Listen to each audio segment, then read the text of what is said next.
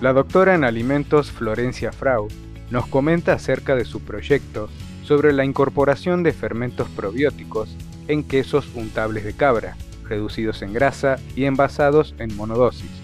Actualmente dirijo un proyecto de investigación radicado en la Facultad de Agronomía, en el cual estudiamos la incorporación de fermentos probióticos a quesos untables de cabra reducidos en grasa y envasados en monodosis. Este proyecto es la continuación de un trabajo que nosotros venimos realizando como equipo desde el año 2005. Inicia todo este camino del estudio de los productos caprinos con el estudio de la calidad de leche de cabra en nuestra provincia. Si bien nuestra provincia era en ese momento la primera productora de leche caprina del país, no existían estudios referidos a la calidad de leche. Es decir, no sabíamos cuánto de grasa tenía, cuánto de proteína tenía y bueno, resultaba importante poder conocer estos valores. Entonces, durante el primer periodo del trabajo, nosotros lo que hemos hecho ha sido estudiar esa calidad de leche en distintos puntos de la provincia hemos eh, extendido ese estudio de la calidad de leche tratando de llegar a zonas más alejadas de la capital,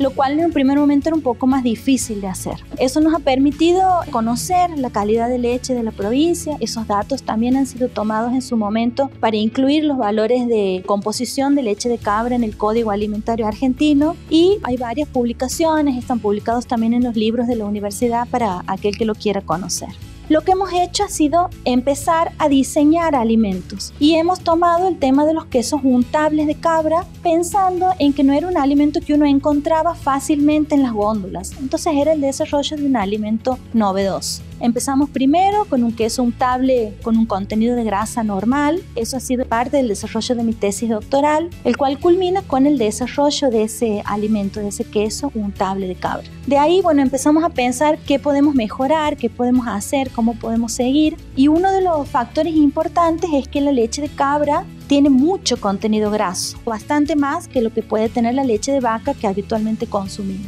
Entonces la idea ha sido desarrollar quesos untables de cabra, pero reducidos en grasa, de manera de ir por esta nueva tendencia de la alimentación saludable, de reducir el consumo de grasas. Poder eliminar ese contenido de grasa en un alimento significa encontrar otros aditivos que se puedan agregar y que sean este, agradables al consumidor, es decir, que al consumidor le guste ese producto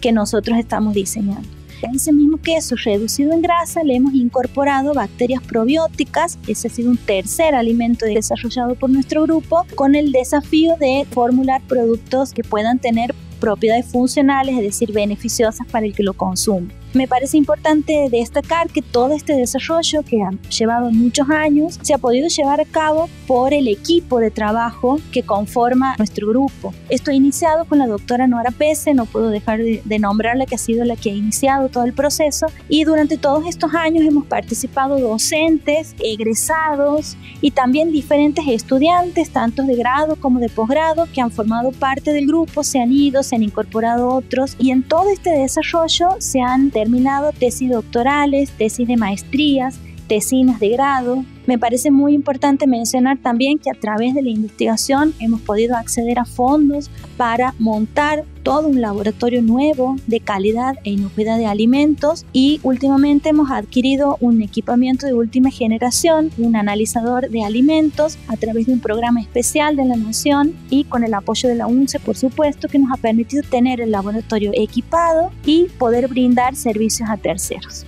A través de este proyecto de investigación, con el equipo asentado y con muchos años de trabajo, nosotros hemos podido también realizar diferentes actividades de extensión. Hace ya varios años que lo hacemos. Para eso hemos trabajado con diferentes productores de leche de nuestra provincia. Hemos ido a territorio, hemos hecho muchas capacitaciones, han participado estudiantes, han participado egresados y a partir de eso, este, la verdad es que nos da mucho orgullo decir